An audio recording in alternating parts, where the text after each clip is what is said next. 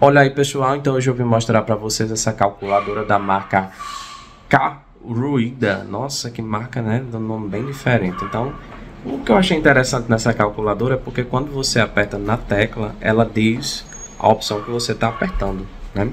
Então, bem interessante aí para quem está começando a aprender a ler, para quem está começando, né, a se aventurar no mundo da matemática. Bom, então vamos ver aqui essa calculadora. Então, calculadora bem ampla, perfeita para dedos grandes, para ver bem os números, né? Então, ó, quando eu aperto aqui qualquer opção, ela vai, né, falar.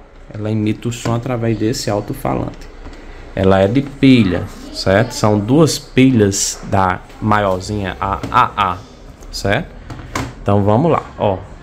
8 mais 8 igual a 1, 6. Vendo? Então ela diz, né, ó, ó.